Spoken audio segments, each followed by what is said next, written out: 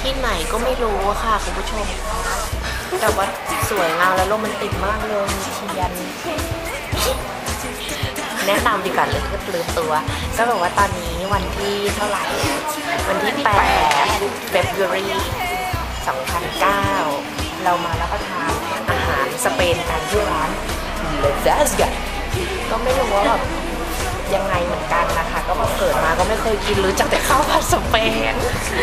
ก็แบบใส่กุนเชียนี่ก็แบบเป็นโซฟาเป็นหมอนเหมือนด้วยค่ะ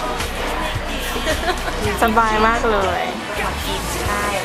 เมื่อกี้ก็ว่าเกือบจะหลับไปแล้ว แต่ว่า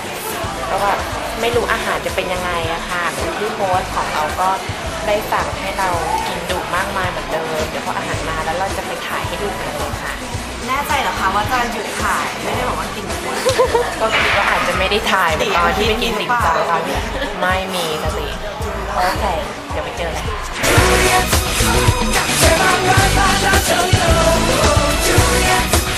ผู้ชมคะตอนนี้อาหารที่เรารอก็มาแล้วแต่ว่าจะเป็น starter ส่วนใหญ่อันเป็นนี้ tapas ค่ะ อันนี้จะเป็น tapas นะคะ spare ribs นะคะ อันนี้จะเป็น mixed seafoodอันนี้นะคะก็จะเป็นแฮมกระทิงดูส่วนอันนี้ก็จะเป็น the chicken wing อันนี้ก็เป็น fried cheese cake เดี๋ยวเราก็จะมาชิมกันนะคะว่าอร่อยไหมเราจะเริ่มเราจะเริ่มจากชิ้นแรก สงสารคนถ่ายนะคะที่ผมกินก็เราก็จะเริ่มอย่ามาเนียนอย่ามาเนียนคาราเมลรี่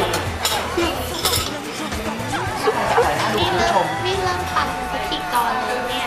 ที่ก่อนแนะนำมันก็เริ่มมาอร่อยไหมคะ งั้นหยุดถ่ายได้ไหมคะ หยุดค่ะหยุดหยุดถ่ายนะคะอืมทานตอนนี้อาหารที่เรารอคอยกันมาแล้วล่ะค่ะข้าวผัดสเปนจานใหญ่มากดูสิคะปะเอ๊ะนี่นะคะก็จะมีกุ้งมีแบบมีมีกุ้งกุ้งแล้วก็กุ้งอะค่ะ ก็ไม่รู้ว่ามีอะไรอีกแล้วอะก็เห็นแอบเห็นมีปลาหมึกนิดนึงก็คิดว่าเคยจับ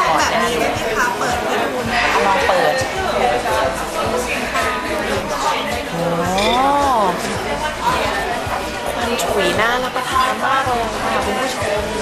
ตอนนี้ต้องขอตัวไปชิมก่อนแล้วเดี๋ยวคราวหน้ารับรองพาไปอีกร้าน อร่อยกว่านี้อีก